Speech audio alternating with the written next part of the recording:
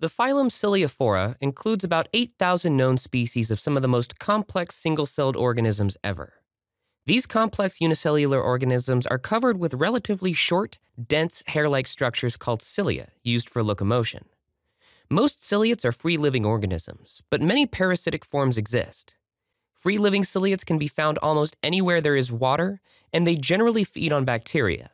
But their large cell sizes allow them to exploit more prey types such as algae, flagellates, and other ciliates.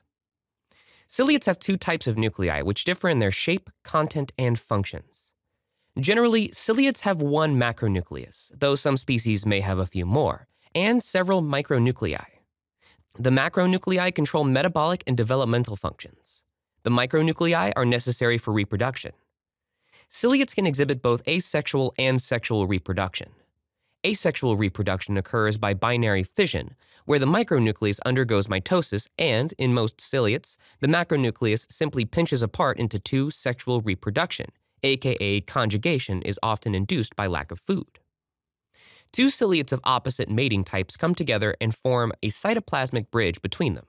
The macronuclei disintegrates, and the micronuclei divide by meiosis. The conjugating cells then exchange a haploid micronuclei through the cytoplasmic connection, separate, and reform new macronuclei from their micronuclei, and finally divide, creating four new cells genetically different than the original two.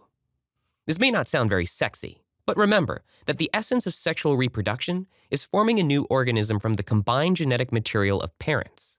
After conjugation, each ciliate partner has acquired new genetic material and divided to give rise to new offspring with a new combination of genes.